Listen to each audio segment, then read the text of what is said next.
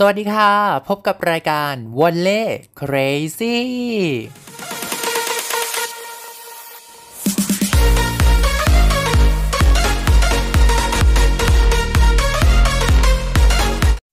สวัสดีค่ะ วันนี้นะคะ รายการวันเล่ crazy ของเรานะคะ ก็มีบทสัมภาษณ์ของ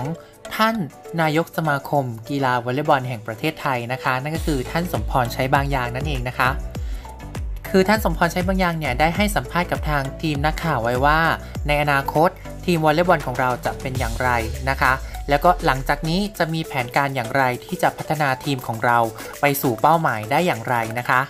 แต่ก่อนที่จะไปฟังบทสัมภาษณ์ของคุณสมพรใช้บางอย่างนายกสมาคม กีฬาวอลเลย์บอลแห่งประเทศไทยนะคะฝากเพื่อนๆกดไลค์ กด Subscribe และกดกระดิ่งแจ้งเตือนให้กับช่องของชนิสนัน channel ก่อนนะคะ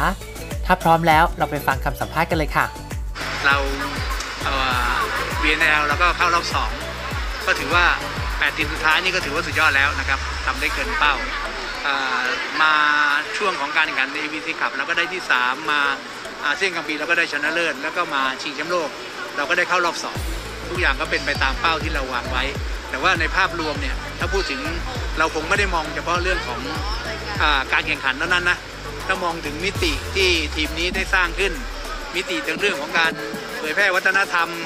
สร้างแรงบันดาลใจให้กับเด็กๆ สร้างสิ่งดีๆ ให้โลกได้รับรู้ถึงความเป็นไทยเนี่ยผมคิดว่าตรงนี้เราได้กำไรมากมายมหาศาลนะครับ ก็ต้องชื่นชมเด็กๆนะครับเขาเสียสละมาก เขาต้องเก็บตัวแข่งขัน 6-7 เดือนเต็มๆนะครับไม่ได้กลับบ้านกันเลยนะครับ เพราะฉะนั้นบางช่วงบางเวลาก็อยากจะให้เข้าใจว่าเขาก็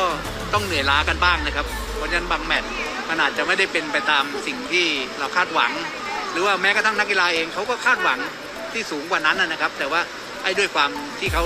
ตากตำมาพอสมควรกำศึกมาหนักเนี่ยมันก็ทำให้เขาอาจจะ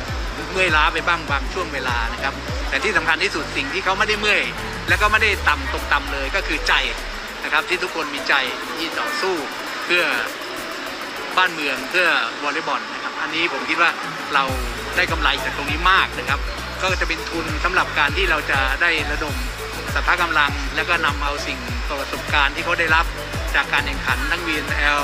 ทั้งในส่วนของชิงแชมป์โลกเนี่ยเอามาเพื่อพัฒนาทีมของเราต่อไป เพราะนี่คือเพิ่งครั้งแรกที่เขาได้ออกศึกจริง ๆนะครับนะครั้งแรกซึ่งซึ่งก็เป็นการเริ่มต้นที่ดีแล้ว เราก็เชื่อว่าการเริ่มต้นที่ดีเนี่ยมันก็จะนำไปสู่การ ที่เราจะก้าวหน้าไปข้างหน้าได้นะครับ คือไปสู่เป้าหมายความสำเร็จตามความฝันที่เจ็ดเซียนได้วางไว้ แล้วก็น้องๆรับช่วงต่อมา ก็คือฝันที่จะไปโอลิมปิกกันเราก็พยายามครับปีหน้าเป็นปีที่มีความสำคัญอย่างยิ่งนะครับสำหรับการไปสู่ปารีสนะครับ เราก็ไม่ได้เราก็ไม่ได้คิดเฉพาะแค่ปารีสนะครับ เรายังคิดถึงอีก 4 ปีต่อจากนั้นที่เราจะต้องไปโอลิมปิก เพราะถ้าเรายังไม่ได้ไปที่ปารีสเราก็ต้องฝัน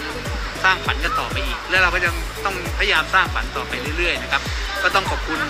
น้องๆ ขอบคุณสตาฟโค้ชขอบคุณผู้มีส่วนเกี่ยวข้องผู้สนับสนุนทุกฝ่ายนะครับ นอกจากนั้นแล้วนะครับ ก็ต้องขอบคุณแฟนกีฬาวอลเลย์บอลทุกคนแฟนชาวไทยทุกคน ทั้งที่อยู่ในประเทศไทยและก็ทั่วโลกนะครับ ที่ได้ให้กำลังใจ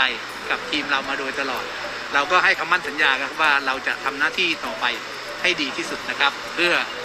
ความสุขของคนไทย เพื่อความเจริญก้าวหน้าของวอลเลย์บอลและก็เพื่อสารฝันไปสู่โอลิมปิกครับโอเคนะขอบคุณครับ